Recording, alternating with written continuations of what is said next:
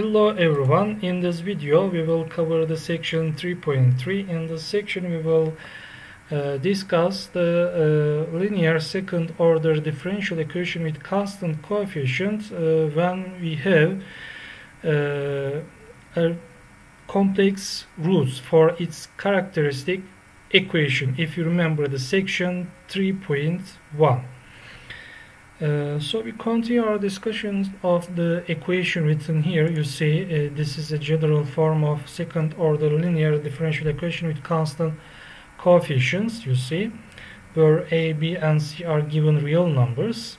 In the uh, first section of the chapter 3 we found that if we seek solutions of the form y is equal to e to the power rt then r must be a root of the characteristic equation written here and we show that uh, the discriminant is positive of this characteristic equation namely if we have two different real roots uh, written as r1 and r2 generally then the general solution is equal to c1 times e to the power r1 time plus r1 times t plus c2 times e to the power r2 times t so this is a general form when we have two different real roots for the characteristic equation.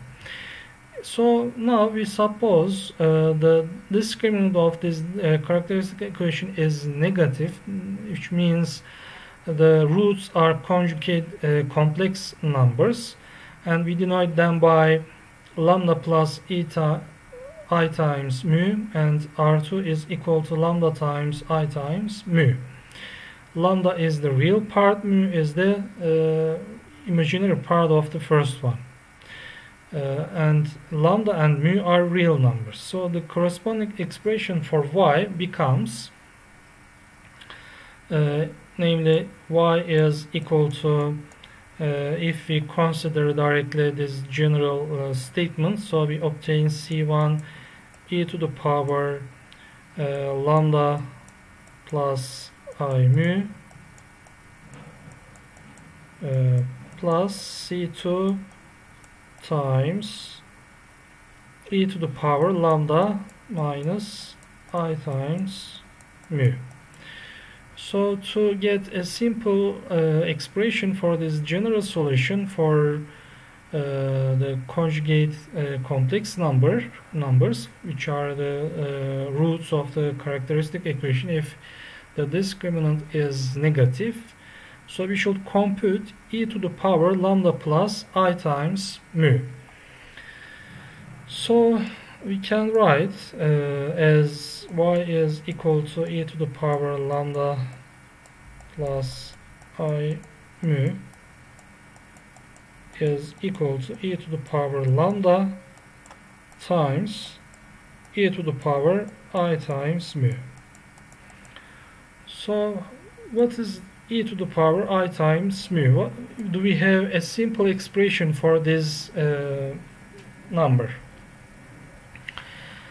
Uh, so if we consider a complex number z generally uh, for the power of the exponential and using the Taylor series of the exponential function if you remember so the Taylor series of this exponential function is written as 1 plus z plus z squared over 2 factorial plus z cube over 3 factorial and so on. And generally we write z, z to the power n over n factorial from 0 to infinity. This is the Taylor series of this uh, uh, exponential function at the point 0 and also let's remember the Taylor series of the trigonometric functions cosine and sine at the same point. It is written in the, they are written in the form.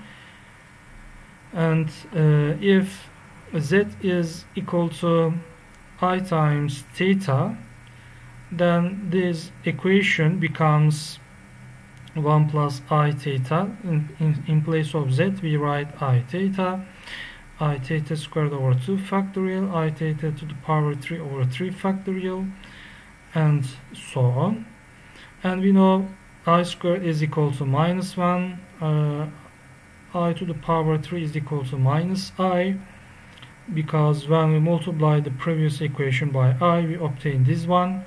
And if you multiply this equation by i we obtain e to the power 4 is equal to 1 e to the power of 5 is equal to i and so on okay? Therefore we have 1 plus i times theta i square is minus 1 so we have minus 2 theta squared over 2 factorial. I to the power 3 is minus i so we write minus i theta to the power 3 over 3 factorial. I to the power 4 is 1 so we have uh, theta to the power 4 over 4 factorial and i to the power 5 is i and so on okay? So you see uh, for uh, even terms when we consider the power of theta for even uh, numbers for even numbers we have just 1 over 2 factorial 1 over 4 factorial and so on. And for odd uh, numbers for the power of theta we have i okay?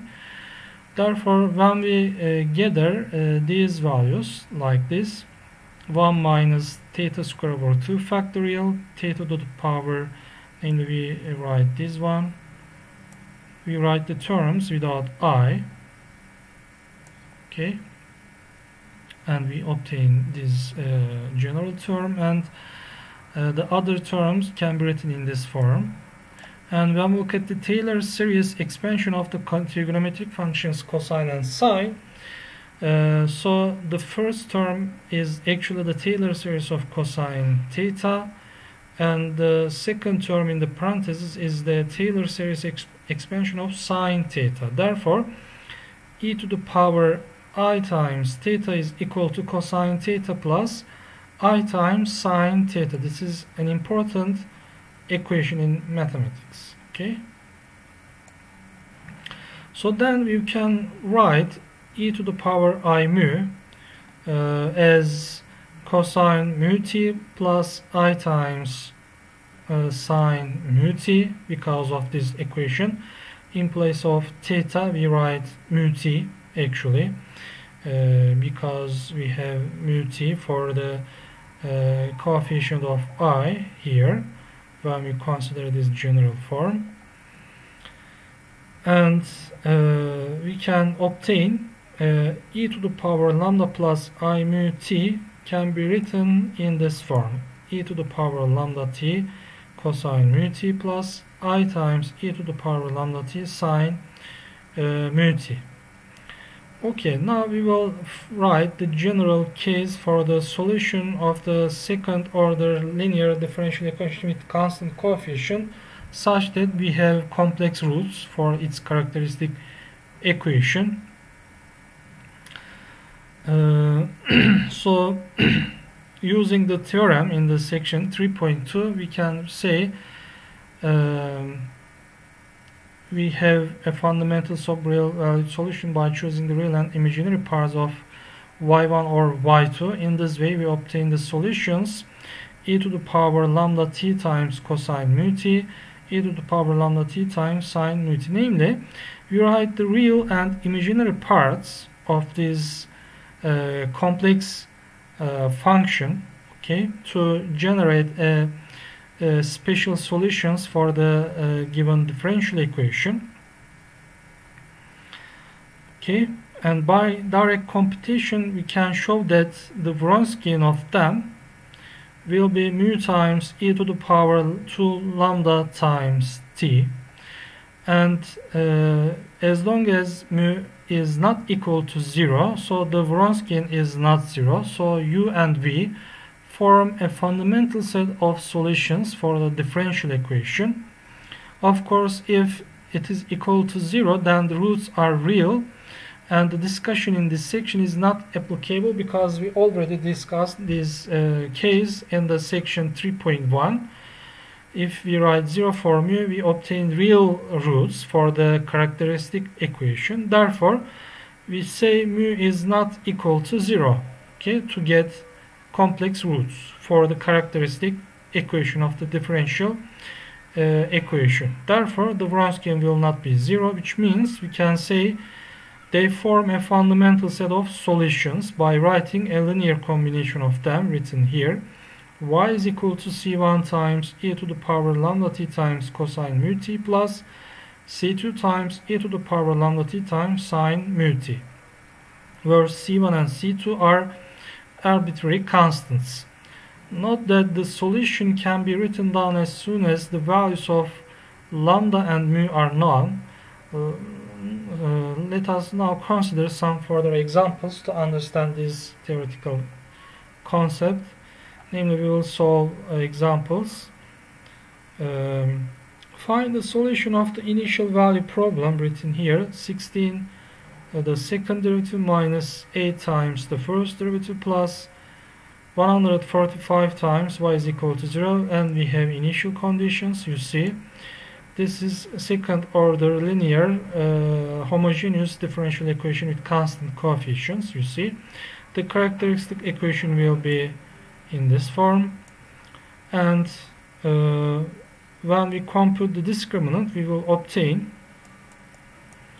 uh, b squared namely 64 minus 4 times a times c 145 so from here when we take a parenthesis of 64 we obtain 1 minus 145 so here we have uh, 64 minus 144 so we obtain a negative value for the discriminant of this characteristic equation which means we have uh, complex roots and complex roots are found as if you remember the general formula x12 or r12 can be found as minus b plus minus square root of delta over 2a over 2a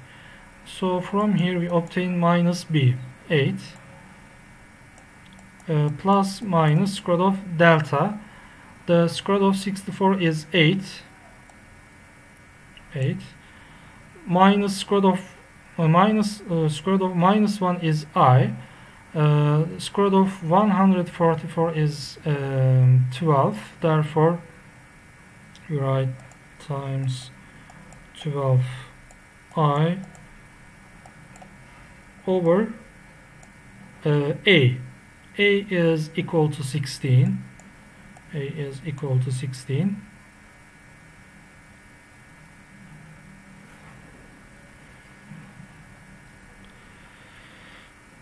a is equal to uh, 2a therefore we write 2 times 16 and from here we obtain uh, 8 over 16 is 2 uh, 1 over 2 1 over 2 times 1 over 2 becomes 1 over 4 uh, plus minus uh, 1 over 4 3i okay after the simplification we obtain 1 over 4 plus minus 3i namely lambda is equal to 1 over 4 uh, mu is equal to 3 mu is equal to 3 therefore the general solution of the differential equation uh, by using this form we know the values of mu and lambda. So it can be written as c1 times e to the power uh, t over 4 since lambda is equal to 1 over 4 from here. Cosine 3 times t mu is equal to 3 plus c2 times e to the power t over 4 times sine 3t okay easily. After finding the values of lambda and mu we obtain the general solution of the differential equation. And to apply the first initial condition we set t is equal to 0 in this equation okay because we know the initial conditions which means we can find the values of C1 and C2 when write 0 for t we obtain C1 plus 0 because sine is equal to 0 therefore C1 is equal to minus 2 and uh, after finding the first derivative and writing 0 for t we obtain y prime of 0 is equal to 1 over 4 times c1 plus 3 times c2 is equal to 1 and we know c1 is equal to minus 2 uh, so from here we obtain c2 is equal to 1 over 2 using these values of c1 and c2 in this equation. So we obtain exactly the general solution of this differential uh, equation okay? First we find the general solution using finding the complex roots of the characteristic equation and then using the initial conditions we find the values of c1 and c2 and we obtain exactly the uh, solution of the differential equation. Similarly, let's find the general solution of the differential equation uh, second derivative plus 2 times first derivative plus 2 times y is equal to 0 uh, and we have the initial conditions here. Uh, so let's find the characteristic equation r square. Uh, let's write again the differential equation y second derivative uh, plus 2 times uh, y prime plus 2y uh, 2y is equal to uh, 0 so the characteristic equation will be r square plus 2r plus 2 is equal to 0 and uh, the discriminant is equal to 4 b squared minus 4 times a which is 1 and c this is equal to 2 so we obtain 4 minus 8 so we have minus 4 it is negative which means we have complex roots for the characteristic equation and uh, the complex roots are found as uh, minus b plus minus root of delta discriminant over 2a so from here we have minus 2 plus minus 2i which is the uh, square root of minus 4 over 2 so we have minus 1 plus minus 2i so here lambda is equal to minus 1 uh, mu is equal to 2 therefore the general solution will be uh, c1 times e to the power minus t cosine uh, mu is 2 cosine 2t plus c2 times e to the power minus t uh, sine 2t okay? E to the power minus t cosine t e to the power minus t sine ah here we have 1 i 2 over 2 therefore mu will be 1 therefore we should write cosine t minus t. Cosine t uh, minus t.